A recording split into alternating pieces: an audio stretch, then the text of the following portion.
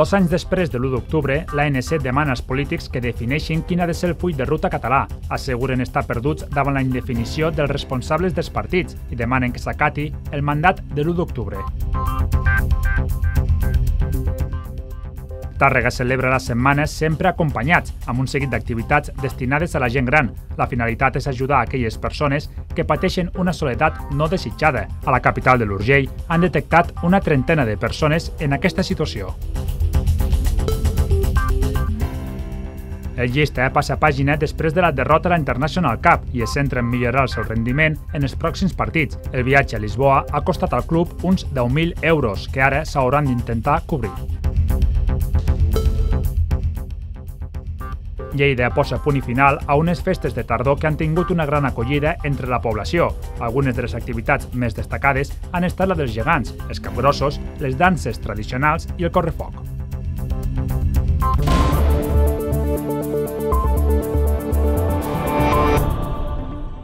Dos anys després de l'1 d'octubre, l'ANC demana als polítics que defineixin quin ha de ser el full de ruta català.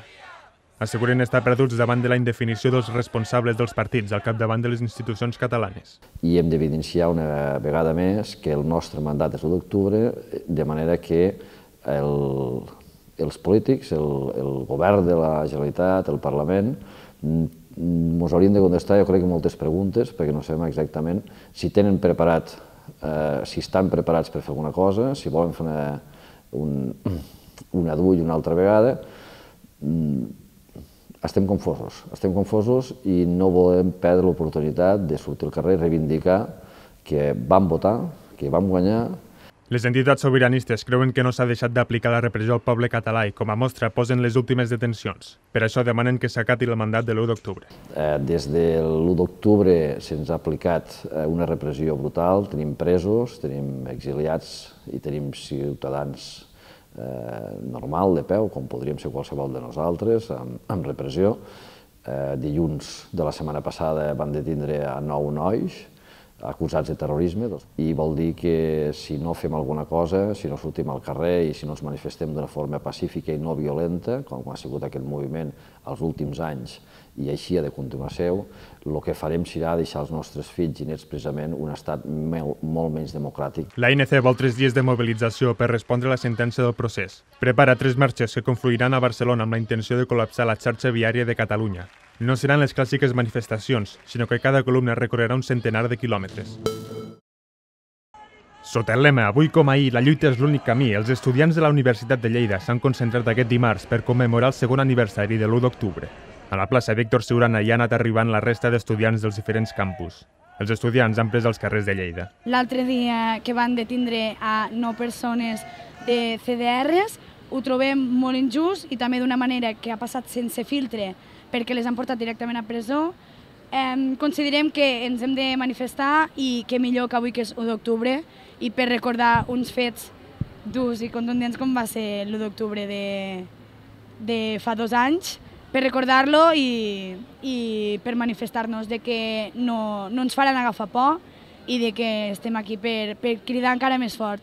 Avui com ahir la lluita és l'únic camí perquè que no, que no podran anar amb nosaltres. Considerem que la, la paraula és la força més, més gran que hi ha i que millor que la força, així que...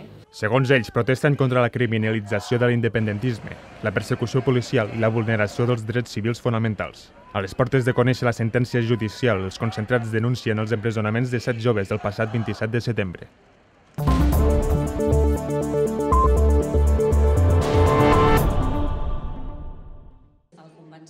Avui, dia 1 d'octubre, és el Dia Mundial de la Gent Gran.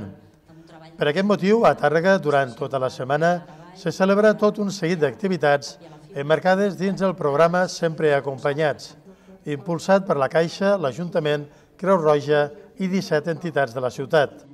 Aquest programa té com a finalitat detectar i ajudar a les persones que viuen una situació de soledat no volguda sensibilitzar sobre el fenomen de la soledat de les persones grans, donar visibilitat a aquestes situacions de cara a poder detectar-les en el municipi i poder donar una resposta eh, bueno, més, més adequada en aquestes situacions per tal de que totes les persones grans que se sentin soles se sentin acollides i tinguin oportunitats de restablir els vincles amb la seva comunitat. En primer lloc, s'intenta conèixer la situació personal de cada persona, avaluant la seva soledat per poder fer un seguiment i, finalment, es planifica un pla d'acompanyament individual. Actualment a Tàrrega han detectat una trentena de persones que se senten soles i estan treballant amb 22. I és un programa que es va iniciar el 2017, ara fa dos anys, a l'octubre, i que, bé, és, només s'està donant a terme a nou ciutats de tot l'estat espanyol. Per tant, és un, un fet molt important i molt destacat que aquí a Targa puguem gaudir d'aquest programa per acompanyar la gent gran, la gent que està sola. Entre les activitats programades per aquesta setmana, destaca avui una xerrada de la policia local sobre la seguretat de la gent gran, tallers de treballs manuals, una xerrada sobre envelliment saludable i jocs de taula.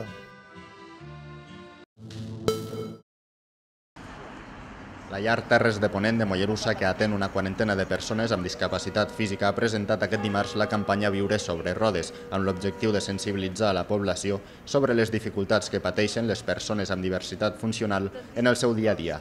El projecte, que s'articula a través d'una exposició fotogràfica i de càpsules vivencials, s'estrenarà el dia 8 d'octubre i està obert a la participació de tota la ciutadania, especialment dels joves instituts ja es va fer un contacte previ, llavors ells estan al cas d'aquest projecte i el que fan ells és venir al Teatre de l'Amistat, han concertat cita, dia i hora, llavors venen al Teatre de l'Amistat, el primer que fan és eh, tenir un primer eh, impacte a través de l'art i la fotografia, veuen l'exposició i a continuació a partir d'una dinàmica ells ens expliquen eh, quin és el seu sentiment no? abans de conèixer les experiències de, de vida.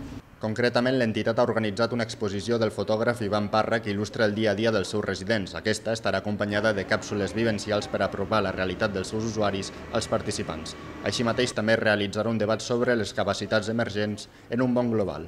A més a més de l'exposició, tractarem aquesta sensibilització a través de l'experiència personal de les persones, a través de les càpsules vivencials. Arribar a la gent quan veu una persona a cadira de rodes i pensa que és un, una dificultat, però hasta que el moment que no arriba a passar amb ella pues no, no és capaç de fer-se la idea. El projecte compta amb el suport de diverses empreses del territori i també de l'Ajuntament de Mollerussa. Detectar escenes de microviolència de gènere i corregir-les és l'objectiu de l'activitat que es va dur a terme aquest dilluns a la tarda a Vallfogona de Balaguer, coincidint amb la festa major del municipi.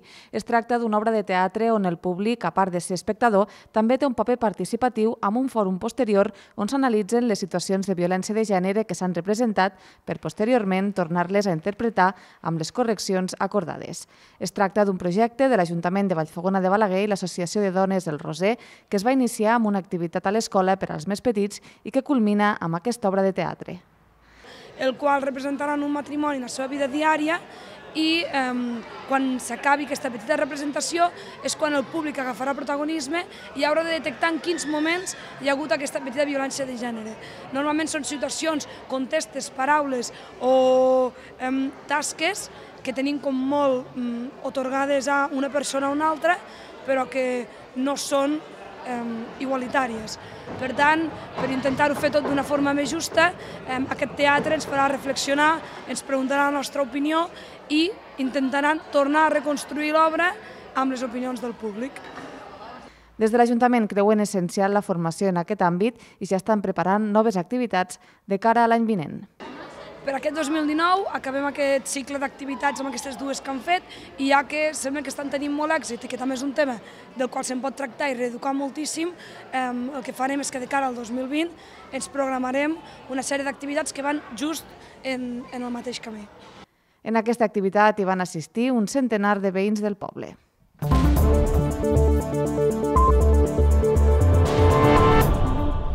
La Generalitat de Catalunya, a través de l'empresa pública Ferrocarrils de la Generalitat, assumirà a partir de l'1 de gener del 2020 la gestió del Centre d'Observació de l'Univers ubicat a Àger. L'equipament està gestionat des de finals del 2012 pel Consell Comarcal de la Noguera després de que la Generalitat li encarregués la gestió un cop dissolt del Consorci del Montsec, primer òrgan gestor de l'equipament. L'encàrrec a la institució comarcal es va fer per garantir la màxima eficiència i eficàcia i la proximitat a la ciutadania en la gestió. Ara, i d'acord amb la normativa vigent d'encàrrecs de gestió, resulta impossible prorrogar la gestió per part del Consell Comarcal i passa a ser responsabilitat de l'entitat de dret públic Ferrocarrils de la Generalitat de Catalunya. Tot i el canvi des de l'administració s'espera poder donar continuïtat al projecte amb l'objectiu de donar compliment als seus objectius, a més de contribuir al desenvolupament econòmic de la comarca de la Noguera. En aquest sentit, des de la presidència del Consell Comarcal també s'ha traslladat un missatge tranquil·litzador. Eh, durant el mes d'agost vam tenir una reunió amb Ferrocarrils de la Generalitat a Barcelona, eh, amb el seu director, els seus assessors i juntament amb el delegat del govern de la Generalitat aquí a Lleida, Ramon Ferrer, en el qual se'ns ha dit que se'ns va transmetre tota la tranquil·litat del món perquè Ferrocarrils de la Generalitat vol continuar eh, seguint amb aquest model de gestió des, de, des del mateix territori, que és com creiem nosaltres que té que ser gestió, el territori gestional des del territori. Llavors, eh, el proper dia 10 d'octubre tornem a tindre una segona reunió amb Ferrocarrils de la Generalitat i allí diguéssim ja començarem a començar a parlar de les temes i les condicions que esperem i desitgem que siguin les mateixes que han estat fins ara. El COU va complir el seu aniversari l'any passat i en els darrers anys s'ha convertit en un dels principals dinamitzadors turístics de la comarca assolint registres de visitants històrics. La Fira de Formatges Artesans del Pirineu arriba enguany a la 25a edició. El certamen gastronòmic tindrà lloc del 18 al 20 d'octubre a la Seu d'Urgell i com a principal novetat s'ha creat un espai pensat per als celíacs. Un dels tastos que hi haurà a l'aula de tast serà espe específicament eh, de formatges i sobretot de pa apte per a celíacs. El formatge en principi en general és més aviat apte, però el problema el tenim amb el, amb, amb el pa que l'acompanya. No? Llavors hi haurà a través de l'associació de celíacs doncs, un tas guiat de, que pot menjar tothom, evidentment, però especialment doncs, les persones que siguin intolerants al gluten. El tas constarà de set formatges amb set maridatges que ha ideat la delegació de l'Alt Urgell i Cerdanya de l'Associació de Celíacs de Catalunya. Amb aquesta aposta, els intolerants al gluten no renuncien a participar a l'esdeveniment. També s'amplien les categories del concurs de formatges, que passen de 12 a 16. En aquesta nova edició hi haurà 450 parades i 48 formatgeries, que oferiran més de 150 varietats de formatges. Aires Monit serà la formatgeria convidada. Una formatgeria de Galícia, de la zona de Galícia, i que aquest any va rebre el Premi Gastrònoma 2009 al millor formatge blau. Doncs també és novetat que hi hagi una formatgeria convidada en formatge blau, que potser no és dels més habituals a, als estants de la fira. Està previst que el president de la Generalitat, Quim Torra, inauguri la fira el dia 19. Abans, però, i per segon any consecutiu, s'ha organitzat el cicle Parlem de Fira, activitats prèvies a la fira que comencen dijous al vespre a l'Espai Ermengol. El Pallars Jussà ja ho té tot a punt per estrenar la segona edició de Cordeví, un festival gastronòmic on els menús quilòmetre zero, les experiències enogastronòmiques, els camins ramaders i els productors agroalimentaris són els protagonistes. És tot un seguit d'experiències que giren al voltant de la gastronomia del territori, sempre de quilòmetre zero, i a més a més doncs, pots viure de primera mà el que és doncs, l'experiència d'estar, doncs, per exemple, un dia fa de pastor o collir safrà o, per exemple, doncs, participar de la Brema. El Cordeví se celebra del 4 d'octubre al 17 de novembre, compta amb una cinquantena d'activitats i vol ser un punt d'unió entre les diferents fires dels pobles pallaresos i complementant-les amb experiències autèntiques i exclusives per promoure el patrimoni comarcal tant els sopars com els, els menús són quilòmetre zero pallarès, això vol dir que són tot amb productes d'aquí de, de la comarca i, i, i és una mica el, el que busquem amb el festival, no? eh, donar valor a, a tot el producte que tenim a la comarca, tant per la gent que estan aquí a la comarca, no? que moltes vegades eh, tot el de fora sembla millor, no? I, com per la gent de fora per donar que vegin que estem fent coses molt xules. Per donar a conèixer la nostra professió, no? perquè amb, amb aquestes activitats doncs, podem mostrar més com, com, com treballem a la gent. A banda de les activitats adreçades a tots els visitants, també hi ha jornades tècniques impulsades des del programa El teu gust aliments del Pallars per productors i restauradors de la zona.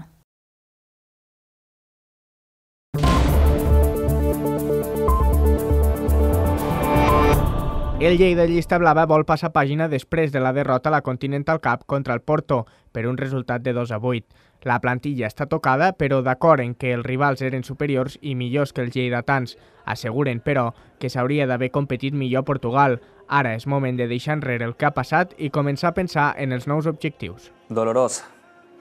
Eh, a mí personalmente me molestó, me dolió mucho. Más que nada me dio vergüenza perder como perdimos. Pero bueno, eh, lo positivo es que hay que entrenar más, hay que meterle para todo lo que viene ahora, que, que bueno, que hay que ganar. La plantilla segueix en construcció perquè només fa tres setmanes que entrenen tots junts. Es troben en fase d'assimilar aspectes tècnics i tàctics. El tècnic, Albert Folguera, és comprensiu i ha demanat als jugadors que vagin a poc a poc. Admeten que encara falta una mica de confiança dins la pista. No, també referent al partit, sí que és veritat que encara en falta una mica perquè som tot un equip nou i també ho hem de posar dins la balança. I realment, bueno, eh, portem, em sembla que són ja tres setmanes junts entrenant conjuntament i encara queda molt de recorregut per poder acabar d'engranar de, aquest equip i que les coses surtin bé. El viatge a Lisboa ha costat al club uns 10.000 euros que ara hauran d'intentar cobrir. El llista ja prepara els següents partits de la Lliga, aquest cap de setmana contra el Vic i la setmana vinent contra l'Igualada. Cop d'autoritat el que va aconseguir el Lleida Esportiu aquest cap de setmana contra el Nàstic per un gol a zero.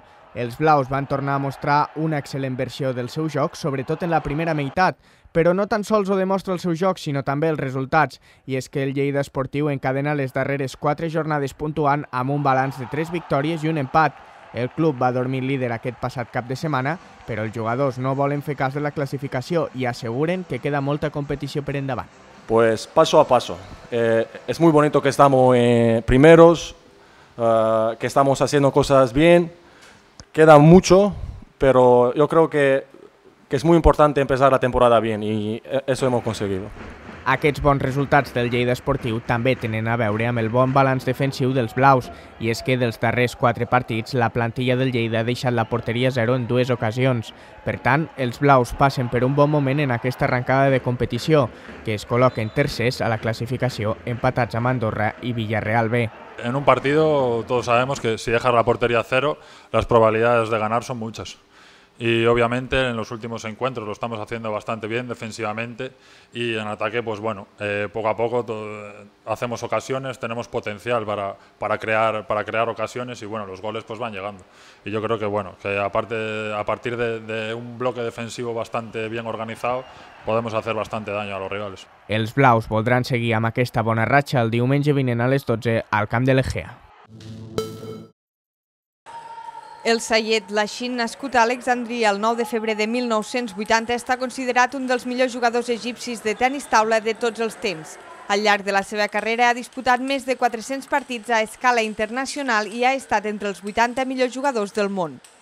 Un fitxatge, doncs, de luxe el que ha fet la Cissa Borges Grup Vall per aquesta temporada. Amb un marcat joc ofensiu, el palista dretà de 39 anys arriba a l'equip garriguenc en plena forma. És un jugador ofensiu que li agrada jugar a prop de taula juga molt bé, però que també li agrada jugar, i això és típic dels jugadors d'Egipte, de, de jugar fora de la taula, i és un jugador molt espectacular, a més que té molt bona condició física, té unes cames molt fortes que li permeten de, de moure's molt bé, i sobretot fora de taula. I wish that we can win both uh, Spanish League. Espero que guanyem tant la Lliga Espanyola com la del Rei, però haurem de treballar dur, i és el que hem de fer a partir d'ara. And this is what we have to do now. Durant la seva llarga trajectòria com a palista, la Xina ha guanyat en diverses ocasions el Campionat d'Àfrica per equips i dobles i la Copa Àfrica en tres ocasions. Cal destacar també la seva participació en els Jocs Olímpics de Sydney, Pequín i Londres. Amb el club borgenc, la Xin s'ha estrenat guanyant els dos partits que ha disputat.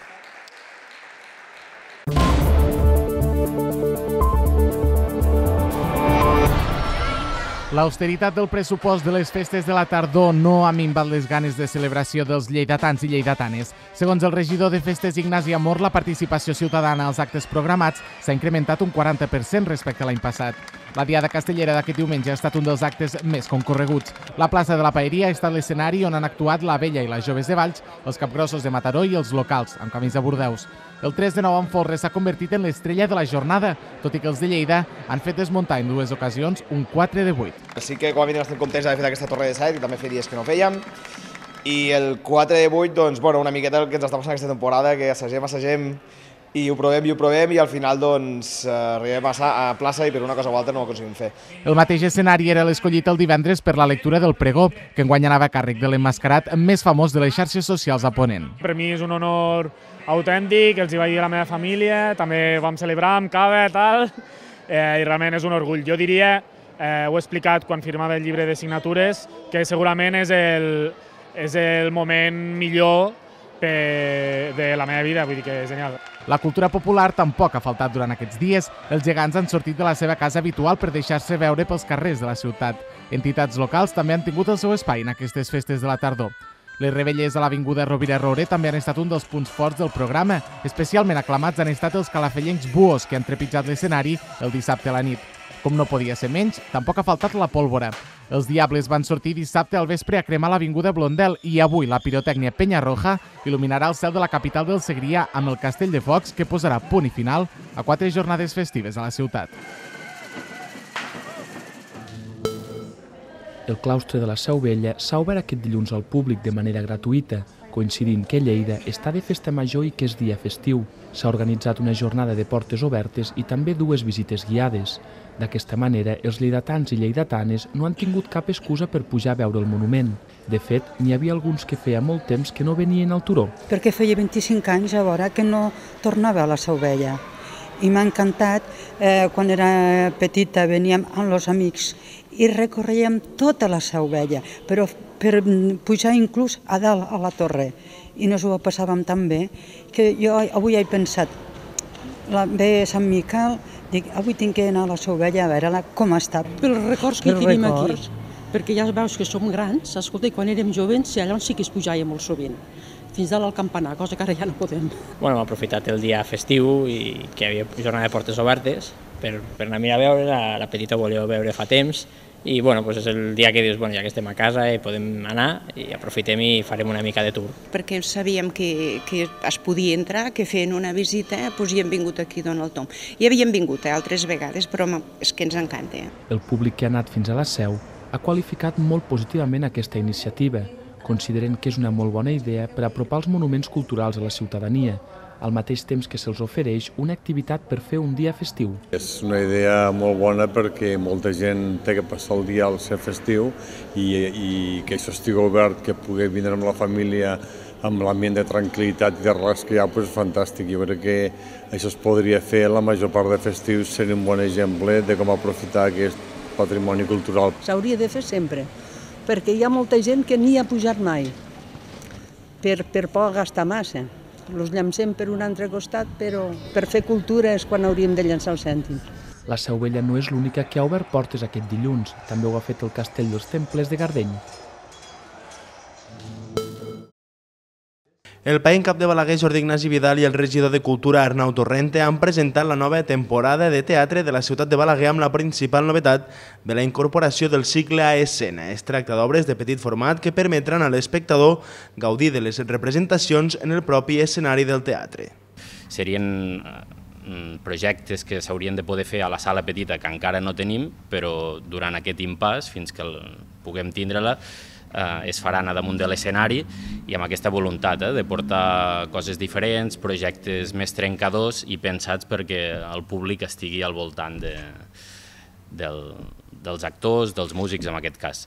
Pel que fa a la resta de temporada dividida en dos cicles de tardor i d'hivern, es torna a caracteritzar per l'àmplia oferta de projectes escènics dirigits a tot tipus de públics. D'aquesta manera, el Teatre Municipal acollirà, entre altres, obres com Casa de Nines amb Emma Vilarassau i Ramon Madaula, Dolce Vita del Maclari o El pare de la núvia amb Joan Pera com a cap de cartell. La temporada també inclou espectacles musicals com l'actuació del grup Mishima que arribarà a la capital de la Noguera el darrer cap de setmana d'abril coincidint amb la Fira de la Ciutat. Des de la Paeria de Balaguer es torna a apostar per una oferta completa amb l'objectiu d'atreure a tot tipus de públics, parant especial atenció a l'espectador més jove. Precisament amb aquest objectiu es manté l'abonament de la platea jove amb descomptes a les entrades dels espectacles. Jo crec que la gent jove ha d'acabar veient que anar al teatre és una activitat més, per molt que els hi pugui semblar formal a vegades pel fet de que potser estan acostumats més a, a temes concerts, a temes d'espectacles de, de carrer. La temporada de tardor s'inaugurarà aquest diumenge amb la representació La llibertat irrenunciable, viure i escriure, dirigit per Enric Arquimbau i produït per Badapàs i que serà l'acte central del programa Any Pàmies amb el que es vol commemorar el centenari de l'escriptora balaguerina Teresa Pàmies.